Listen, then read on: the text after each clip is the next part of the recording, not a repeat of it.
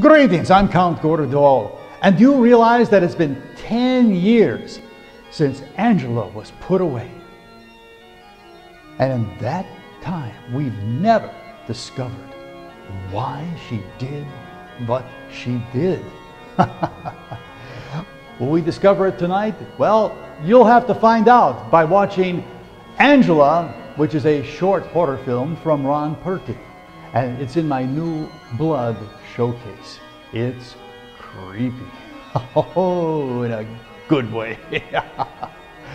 and we don't want to leave out the book reviews. Yes, the Tomb Keeper reviews Fear City in the Tomb, and the Unimonster is back with a, a great essay related to the genre.